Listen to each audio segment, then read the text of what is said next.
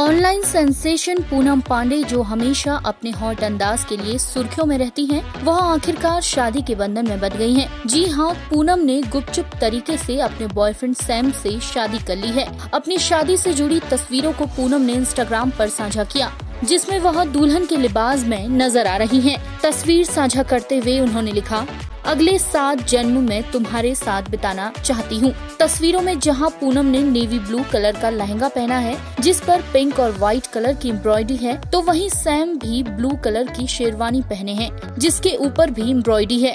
बता दें कि पूनम अक्सर अपनी बोल्ड तस्वीरें और वीडियो सोशल मीडिया पर साझा करती रहती हैं। I report.